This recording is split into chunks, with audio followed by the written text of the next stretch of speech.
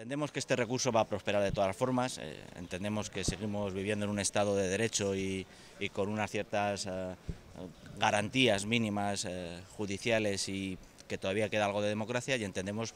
que este recurso prosperará por eso. De no prosperar, entendemos que tendríamos que iniciar acciones legales contra los procesos que, o las actuaciones que ha realizado la propia Fundación Caja Segovia, porque entendemos que por decirlo de una forma sencilla, no podemos permitir de Izquierda Unida que la acusación que son los amigos y compañeros de partido de los que están acusados se retire y por eso no haya eh, responsables en delitos tan graves y de tantos eh, millones de euros como está ocurriendo eh, en este caso que no está ajustado a derecho el auto recurrido, porque se basa en el artículo 637 y 641 de la Ley de Enjuiciamiento Criminal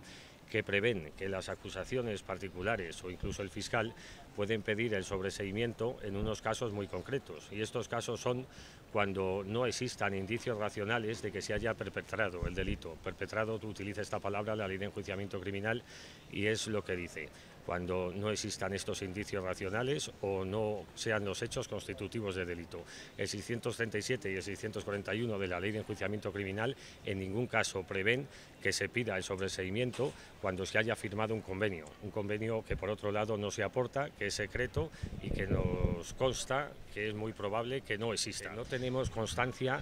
de su contenido, no tenemos constancia de, de, su existencia. Tan solo se nos ha dicho por la prensa que se ha llegado a un acuerdo por el que no se ejecuta el torreón de Lozoya, sí se ejecutan el resto de los inmuebles y no conocemos ningún extremo más de ese acuerdo, ni cuándo eh, comienza, ni, qué virtualidad tiene. Lo único que ha servido eh, es su anuncio sin tener conocimiento de su existencia, sin haber sido presentado en el juzgado, sin haber sido presentado en el Ayuntamiento de Segovia ni en el de Cuellar, que también se ha pedido, ha servido como excusa para archivar el procedimiento en falso totalmente.